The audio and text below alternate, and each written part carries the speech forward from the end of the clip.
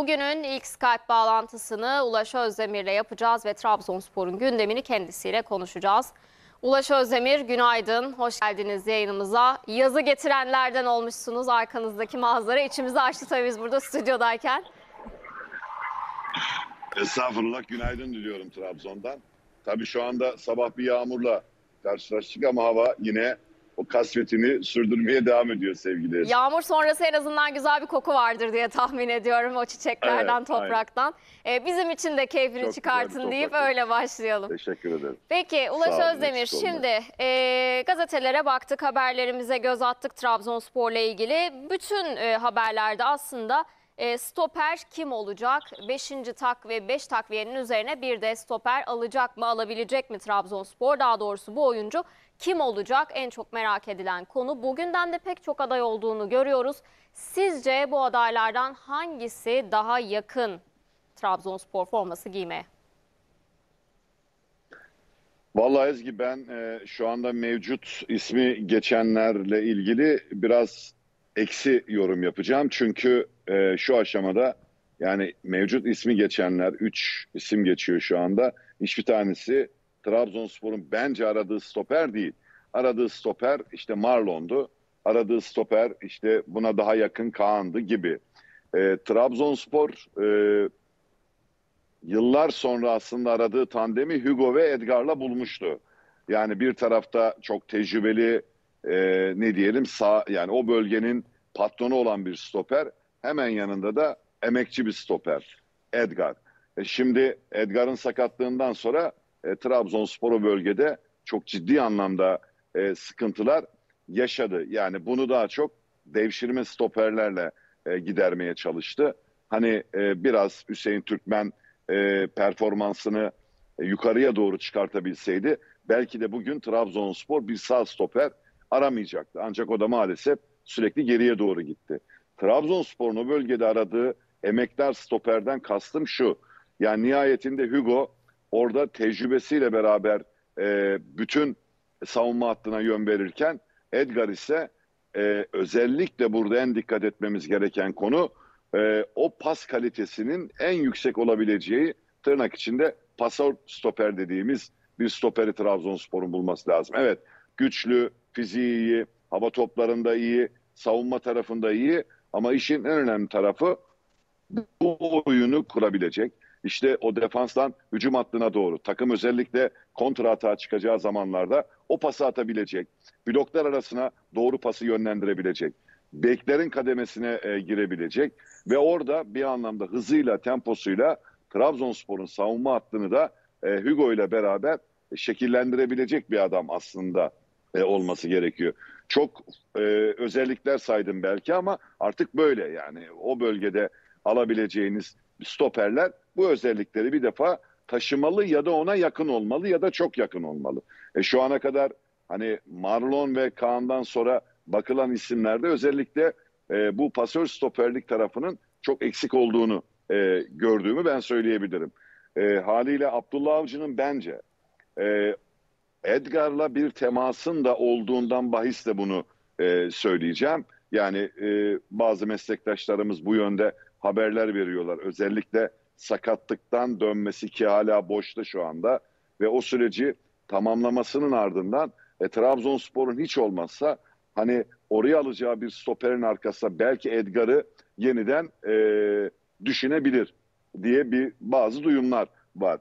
E, bu doğru olabilir mi? Ona onu çok bilmiyorum. Çünkü Edgar'ın yaşamış olduğu sakatlık e, bir anlamda e, yani dizinde iki bölgede ve bu iki bölgede hani bir tanesinde o bağın kopması, diğer diğerinde de kopma noktasına gelmesi biraz ağır bir sakatlık.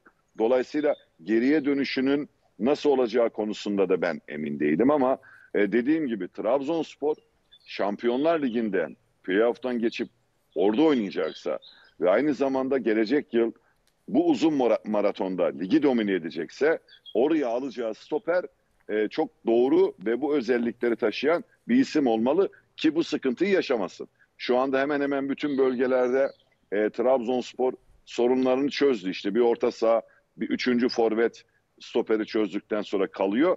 Ama aynı zamanda da kulübeye de bir iki takviye yapmak için de e, hamleleri olacak. E, dolayısıyla burayı çözmeden hani o bölgelere çok yönelemiyor Trabzonspor'da. E, bir de maaş bütçesi, ekonomi bunlar da önemli. Yabancı sayısının fazlalığı, gerçi dün federasyonun getirmiş olduğu bir talimat değişikliğiyle beraber kulüplerin eli bir, eli bir ölçüde rahatlamış olsa da ben Trabzonspor açısından olaya baktığımda Şampiyonlar Ligi'nde mücadele edecek bir takımın stoperinin kesinlikle ve kesinlikle e, pas kalitesinin çok çok yüksek olması gerekiyor. Bir oyun kurucu, orada bir modelin durması gerekiyor. E, bunu Hugo ve e, Edgar çok iyi bir şekilde e, sağladılar Trabzonspor'da. İşte önceki yıllara gittiğimizde e, bu egemen Giray'dı bir anlamda. Ama ondan sonra gelen stoperler bir türlü o tandemi sağlıklı bir şekilde oluşturamadı. Ya da istenilen noktada değildi. Ama Edgar ve Hugo ile beraber onu sağladı. Şimdi bunda bence ısrar ediyor. Biraz daha beklemek lazım aslında. Çok da acele etmemek lazım. Evet maliyetler yüksek. Avrupa piyasasında topçular bir o takıma bir bu takıma gidiyor ya da kendi takımında sözleşmesi bittiğinde yeniden anlaşma sağlıyor. Belki bulma konusunda biraz sıkıntı olabilir. Ama e, şu anda ismi geçenler değil. Ben kalitelerinden hiçbir zaman eleştiri yönünde bir şey e, söylemiyorum. Ama dediğim gibi bu özelliği olan bir stoper orada olmazsa Trabzonspor hem Şampiyonlar Ligi'nde hem e, gelecek sene ligde büyük sıkıntılar yaşayabilir. Şimdi dün ve bugün Trabzonsporlu oyuncuların röportajları var e, gazetelerde. Dün Vişça en iyi transferleri biz yaptık. Bu sene de şampiyon olacağız şeklinde iddialı konuşmuştu. Bugün yine e, Berat'ın açıklamalarının da benzer ölçüde olduğunu görüyoruz. Şampiyonluğun tadını aldık. Bu sene de şampiyon olacağız şeklinde. Özellikle Vişça'nın açıklamaları üzerinden en iyi transferleri biz yaptık. En iyi e, oyuncuları Trabzonspor e, aldı. E, açıklamaları üzerinden sormak istiyorum. E, iddialı bir şekilde giriyor ve kesinlikle e, yani böyle bir rehavete kapılmış bir oyuncu grubu görmüyoruz Trabzonspor'da. Yine yeni sezona da son derece iddialı e, giriyor gibi görünüyor oyuncular. Neler söylersiniz?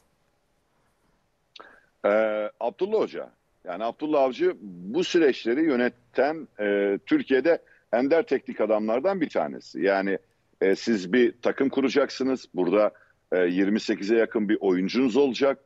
Hepsi farklı ülkelerden gelecek. E, Türkiye'den yerli oyuncular içerisinde olacak. E, yani aynı zamanda bir teknik ekibiniz olacak. E, kulübün bir başkanı, bir yönetimi olacak. Ve aynı zamanda milyonlarca taraftarı olacak.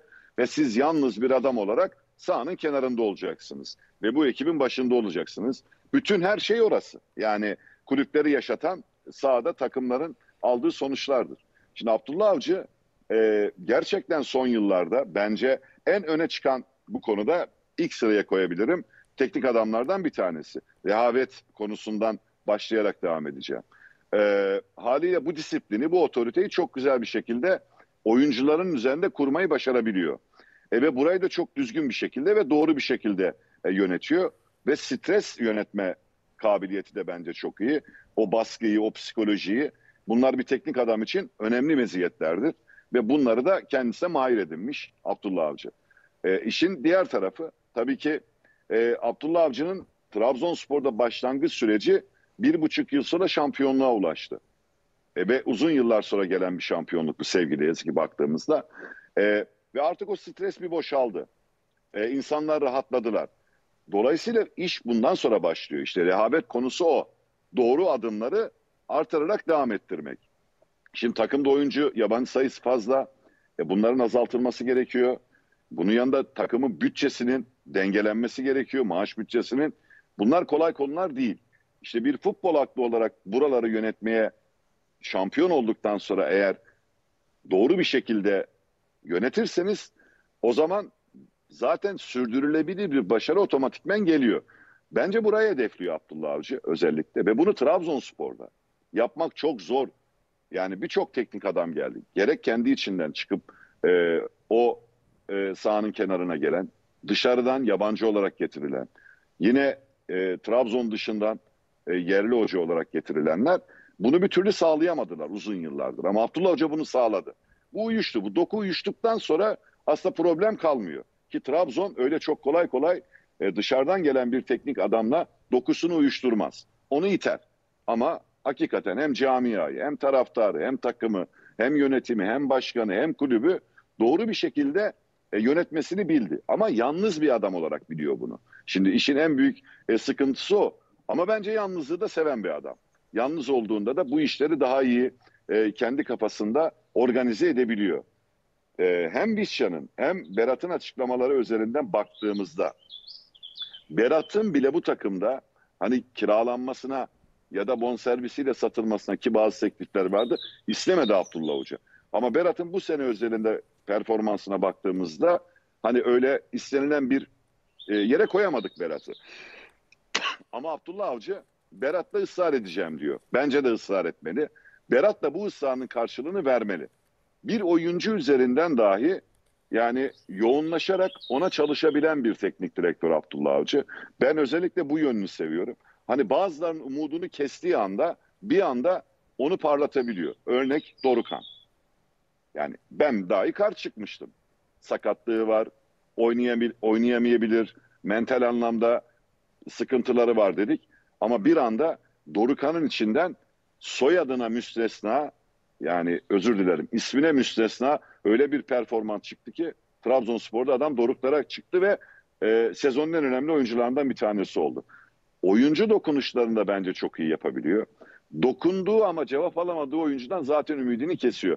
Biraz bu gençler konusunda yaptığım eleştiriyle ilgili de kendisiyle konuştuğumda bu işler öyle sizin dışarıdan konuştuğunuz gibi olmuyor. Doğru olmuyor. Çünkü e, idmanda siz görüyorsunuz.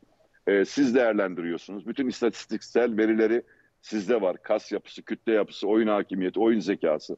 Evet bizde yok. Biz bunları çok e, fazla göremiyoruz. Ama oynattığınızda ancak yorumlayabiliriz. Hayır.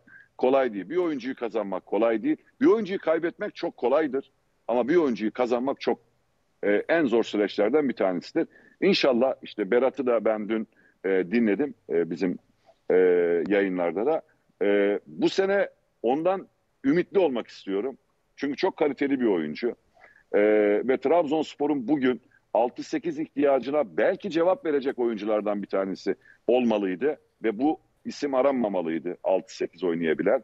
Berat bunları karşılayabilecek bir performans ortaya koyabilirse hiç olmazsa yani ona yakın e, Trabzonspor da böyle hani ekonomik ve bütçe maliyeti açısından çok fazla da dışarıdan e, bir futbolcu transfer etmek zorunda kalmaz. İşte bu rehaveti e, doğru yönetmek, oyuncuları psikolojilerini çok önemli burası çünkü oyuncu psikolojisi. Buraları iyi an, anlayabilmek. Çünkü, çünkü Abdullah Avcı'nın yanında Yaşar Hoca var ve o tamamen bir yaşam koçu e, ve bir anlamda da psikolog.